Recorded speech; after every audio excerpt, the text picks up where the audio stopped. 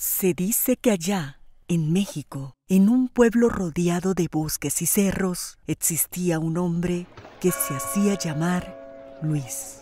Cada 1 y 2 de noviembre se burlaba de las personas que celebraban el Día de los Muertos y ponían ofrendas a sus familias. Un día, estas fechas se acercaban a México y dentro del pueblo fue elegido para ir a buscar leña. La gente del pueblo lo animó a ir, no sin antes advertirle que se cuidara y tratara con respeto a todo el que se encontrara en el camino. Partió y comenzó a escuchar a mucha gente que lo saludaba. Se encontró a una señora de sombrero sentada.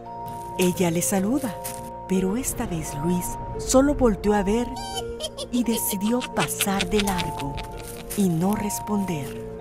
Luis, al llegar al monte, empezó a talar y a recoger leña hasta que su bolsa quedara llena.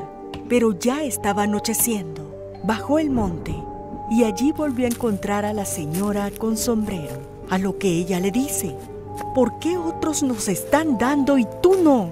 ¿Qué te hace creer que tú no debes hacer nada? Aparte de no celebrarnos, no nos respetas. Al terminar de decir esto, la señora desapareció, dejándolo solo.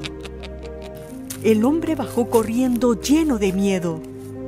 Llegó a su pueblo, asustado tiró la leña y corrió a su casa. Llegando a su casa, se encuentra con la mujer de sombrero, la cual enfurecida le dice, no te burles de las almas y no nos faltes el respeto. Al terminar de decirle eso, lo toma de la mano y se lo lleva.